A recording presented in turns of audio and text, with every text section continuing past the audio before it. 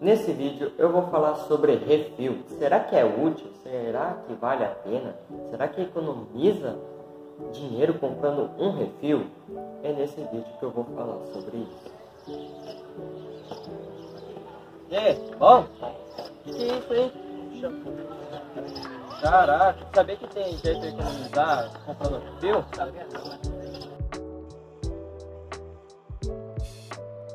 Eu vi o shampoo que eu gasto em um mês que custa R$ 25,90.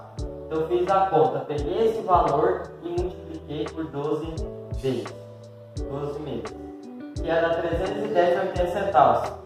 Caraca, quanto dinheiro que eu gasto para lavar meu cabelo. Agora iremos ver o valor do refil de shampoo, que custa R$ 19,90. Vamos pegar esse valor e multiplicar por 12 meses que vai dar R$ 238,80.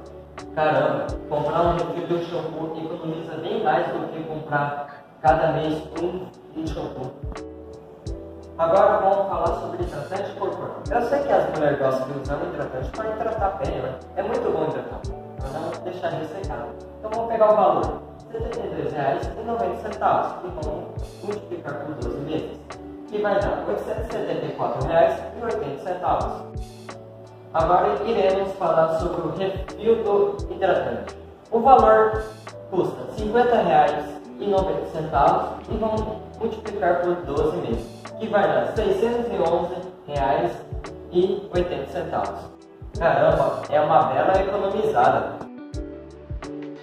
Vocês ficaram curiosos saber quanto mais economizamos? Eu já fiz a conta que deu R$ 72,00 e do hidratante deu 263. Mas somos dois e deu de economia 345 reais. Boa, cara.